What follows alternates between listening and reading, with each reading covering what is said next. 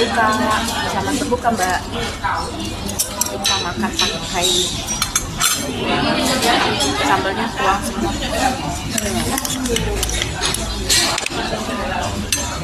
Sabun tuh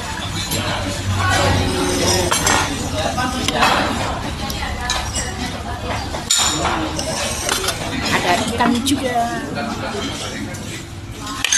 coba nanti coba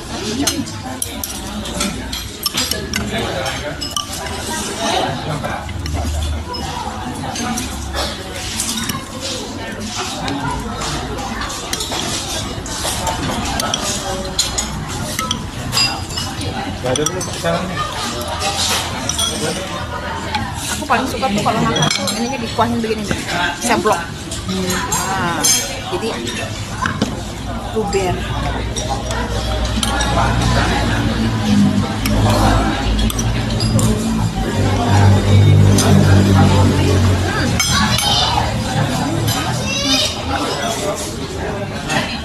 Kamu tuh makan sama gula ini.